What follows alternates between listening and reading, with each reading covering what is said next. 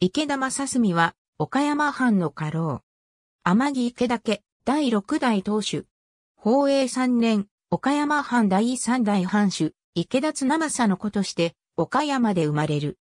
宝永六年、池田内前、竹則の家督を相続するも、同年に、藩主聖主の兄聖順が死去し、天城池田家を継いでいた、同母兄補教が実家に戻り藩主聖主となったため、翌宝永7年変わって、天城池田や吉勝の家督を相続した。聖徳4年、兄継聖が藩主となると、翌聖徳5年母栄公院と共に、幕府の承認となる。享保5年、許されて、国元に戻り、文家並みの待遇を受ける。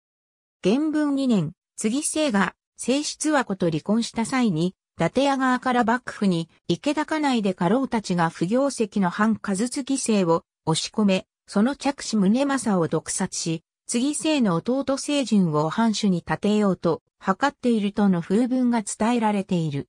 明和3年5月26日没。去年61。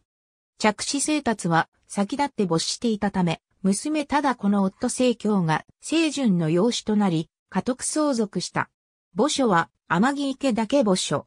兄継聖と同じく和歌や廃校好み、配合を琴町と名乗った。池田正澄の墓聖順の外孫八代君は、水戸藩主、徳川春森に嫁ぎ、春年を設け、その子孫は、水戸徳川家などに血脈を伝えている。最後の将軍、徳川義信やその弟の鳥取藩主、池田慶徳と岡山藩主、池田茂生、また、尾張藩主、徳川義勝は、聖順の来孫にあたる。